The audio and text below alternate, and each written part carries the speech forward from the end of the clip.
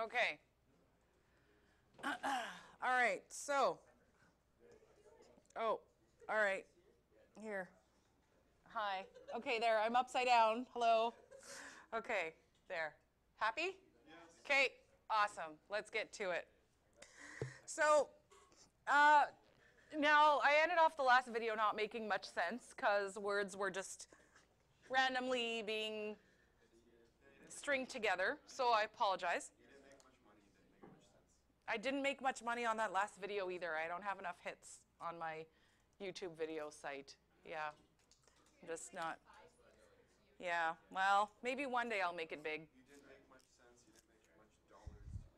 I didn't make much dollars, no. Okay, so what we're going to do with these two guys, so this is still the sum and differences of functions. We don't have any, we don't have equations for these.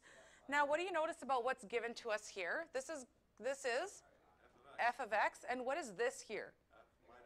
F minus g. f minus g of x. So what do you think we're going to have to figure out? G. G, right, okay.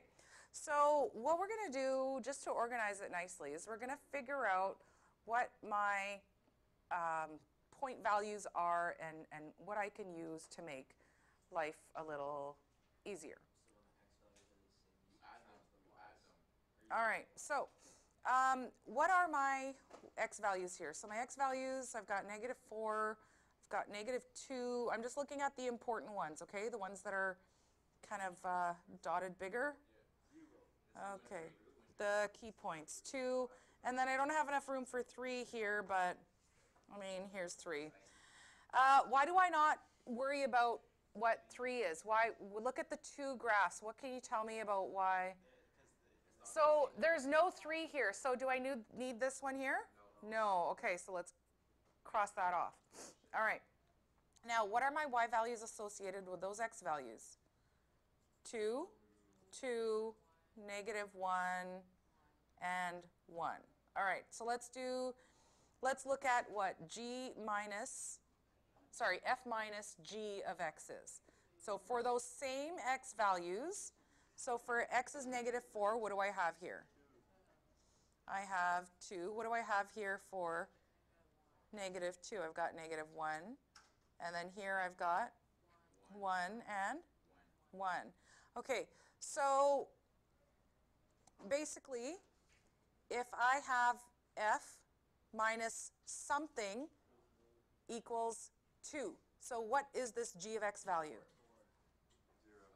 So f minus g of x equals this number, okay?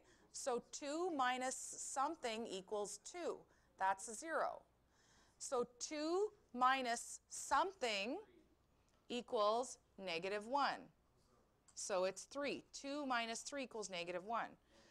Here, I've got 1 minus something equals 1. So it's negative 2. And then 1 minus 0 equals 1. All right. So I've got all of those values now. I take these same x values, and then I can plot those on my graph, and that will give me which function, folks? G of x. g of x. That'll give me the graph of g of x. So negative 4 and 0 is right here. Negative 2 and 3 is right here. 0 and negative 2 is way down here. And then I've got 2 and 0, which is here. All right. So now I'm going to connect these points.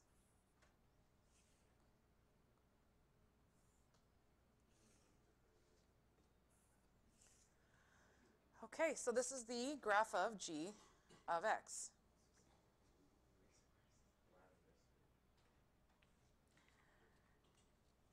Okay. Now, is my note? My note is on the other side. So if we, we notice that if we had uh, something out of the domain in our composite, we have to, we have to make sure to account for it, right? So if the domain of the function g, it must be negative 4,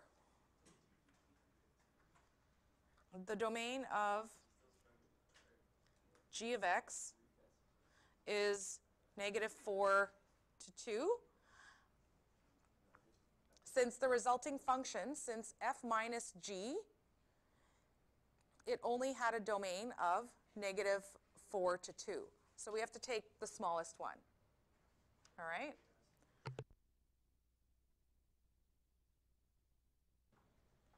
Okay. So now our last page here. So we're just, we're looking at the domain. So the domain of the function g, it must be negative 4, 2, since the resulting function f minus g of x only has a domain of negative 4 and 2. So we have to make sure that we're kind of keeping track of uh, any restrictions like that. So the domain of a function that is the sum or difference of different functions is made up of the common domains of all of the initial functions. So for f of x, here's an example. So for f of x, let's say the domain is x is greater than 2, and the domain of g is x is less than 4. So the domain of the composite is going to be those two limits, right?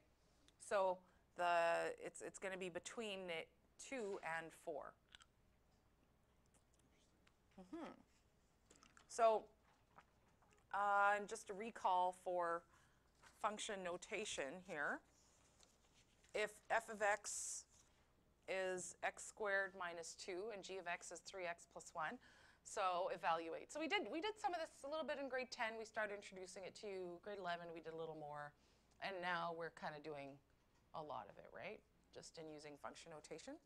So what you do basically is take your Normally we have an x here, right? But this is telling you to replace 5 instead of the x.